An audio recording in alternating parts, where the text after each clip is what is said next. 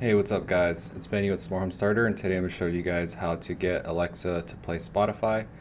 Um, and so the first way to do that is to actually just unplug your Echo device um, and do that for 30 to 60 seconds.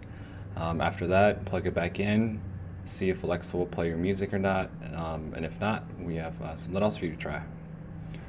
Alright guys, so another easy fix to try is to just make sure that your Wi-Fi is on and you have a strong connection. You can toggle this on and off uh, to refresh it, but it's just another quick fix to try before we get into the more complicated stuff, so try that out. Another thing to check is if your volume is turned all the way down by accident. I know I've done this before, so just turn it up and see if that helps. Um, and just make sure that you didn't accidentally click the mute button.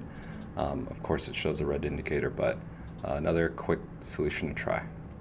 Alright, the next thing to check is to make sure that your apps are up to date. So just go to your App Store or Play Store, search for the app, and it'll say if it needs an update or not. Alright, the next thing to try is to actually clear the cache out of your Spotify app. Sorry it's a little blurry, but uh, just go to your settings in the top right, scroll down and go to storage, and then after that click uh, clear cache, um, and then close the app, reopen it, and see if that helps. Alright, so the next thing to try is actually just go to your Alexa app and go to skills, search for Spotify, and then open it. After that, you're to want to uh, disable the skill. And then after you hit disable, you're to go ahead and enable to use again. So this is just like unplugging and replugging, but for the skill. After that, sorry it's a little blurry, just scroll down, hit agree,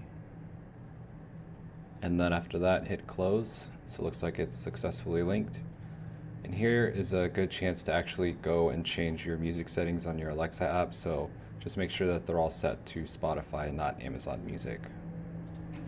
Next on the Spotify app, click on the computer speaker icon in the bottom right and then select the Echo device that you are having issues with. Click the three dots and then click forget device. Uh, after that, go and re-add the device back and see if that helps.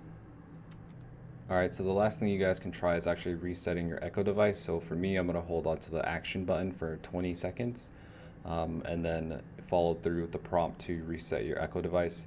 I'm going to let mine go because I don't want to fully reset it, but this should do the trick and if it doesn't, then your only uh, solution is probably just to reach out to Spotify support for additional support. So Hopefully that helped, and if it did, comment, like, and subscribe, and we'll see you guys later. Bye.